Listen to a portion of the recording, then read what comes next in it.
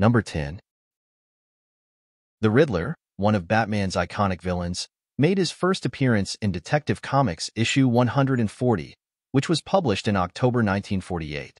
He was created by writer Bill Finger and artist Dick Sprang. The Riddler's first appearance in the Silver Age of comics was in Batman issue 171, published in May 1965. This marked the character's reintroduction after a period of absence from Batman comics during the early 1960s. Number 9. The Riddler's admiration for Harry Houdini, the famous escape artist and magician, is a significant aspect of his character. He often incorporates elements of puzzles, riddles, and traps into his crimes as a way to challenge Batman's intellect, much like Houdini's feats challenge the limitations of escape. Number 8. The idea of Batman inadvertently creating his own enemies is a recurring theme in many interpretations of the character's mythos. Edward Nashton's transformation into the Riddler is often portrayed as a consequence of his encounters with Batman, whose presence in Gotham City inspires criminals to adopt costumed personas and challenge his authority. As an accountant, Nashton may have felt overlooked or undervalued in society, leading to feelings of resentment and frustration. When he sees Batman, a figure who operates outside the law but commands respect and fear. Nashton may be inspired to follow a similar path in his quest for recognition and power. Becoming the Riddler allows Nashton to express his intellect and creativity in ways that were previously denied to him.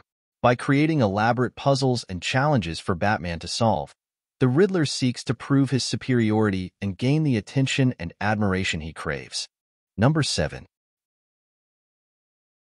There have been instances in comic book storylines where the Riddler has allied himself with Batman or temporarily turned away from a life of crime. These moments often occur when the character experiences personal growth or faces circumstances that challenge his worldview.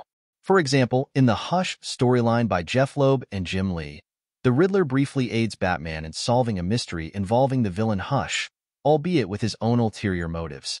In other stories, the Riddler has been portrayed as seeking redemption or struggling with his criminal identity, leading to periods where he aligns himself with the side of good. However, such instances are usually temporary, and the Riddler typically returns to his villainous ways in the long run.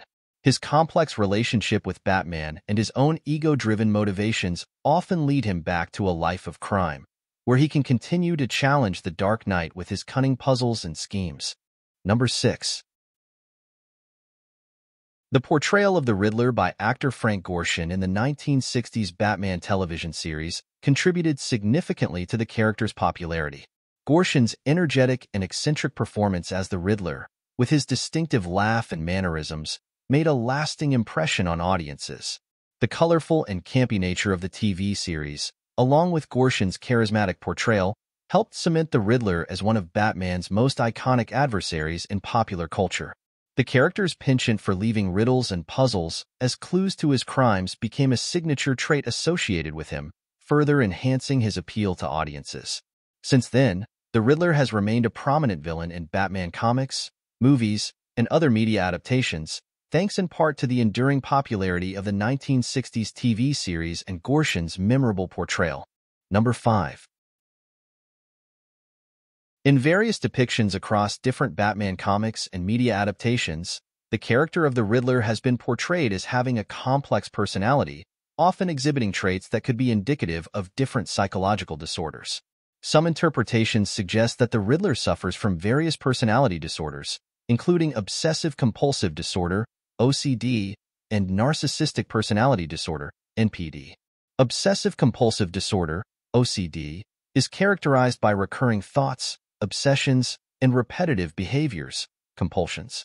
The Riddler's obsession with leaving riddles and puzzles as clues to his crimes, as well as his compulsive need for attention and validation through his intellectual superiority, could be seen as consistent with some aspects of OCD. Narcissistic Personality Disorder, NPD, involves a pattern of grandiosity, a need for admiration, and a lack of empathy for others. The Riddler's egotistical nature, his belief in his own intellectual superiority, and his desire to outwit Batman and prove his intellectual dominance over others align with characteristics commonly associated with narcissism. Number 4. In some storylines and adaptations, the Riddler has been depicted with female accomplices or partners in crime. One notable example is Query and Echo. Query is a skilled computer hacker and Echo is a martial artist, and together they assist the Riddler in his schemes. I hope you're enjoying this video. Before we get to the top three, please could you take a moment to like and subscribe to my channel as it would be a great help. Number 3. The Riddler is known for using a variety of gadgets and tools to aid him in his schemes and challenges. Some of his equipment includes Question Mark Cane, a cane adorned with a question mark, which the Riddler often carries as a signature accessory. Riddle-based traps. The Riddler frequently sets up elaborate traps and puzzles for his enemies, often involving wordplay, logic puzzles, or riddles. Riddler's Lair. The Riddler often operates from a secret hideout or lair filled with gadgets, computers, and other equipment to aid in his schemes. Mind control devices. On occasion, the Riddler has used devices capable of controlling the minds of others, allowing him to manipulate his enemies or victims. Gadgets and technology. Depending on the story and iteration, the Riddler may employ various gadgets, weapons, and technology to further his goals, often incorporating his signature question mark motif. Number 2. After leaving education to focus on his newfound obsession with puzzles, Edward Nygma established a crooked puzzle booth at a carnival. He had devised an unbeatable puzzle which competitors could pay a small fee to try to win. As the customers would inevitably fail, he never had to pay out any prize money, but it did not satisfy the up-and-coming villain. Growing frustrated with using his intellect for trivial purposes, the Riddler closed his cryptic carnival attraction and turned to a life of crime in order to make his money. Obviously, the carnival was a waste of his precious talents, as he went from making menial money to stealing masterminding massive heists extremely quickly. Number 1. In some iterations of the Batman comics, the Riddler has a daughter named Enigma. She is introduced as a relatively recent addition to his backstory. Enigma shares her father's intelligence and affinity for riddles, but her relationship with him is often strained due to his criminal activities and her own desire to distance herself from his legacy. Thanks for watching. I hope you learned something from the video and we'll see you on the next one.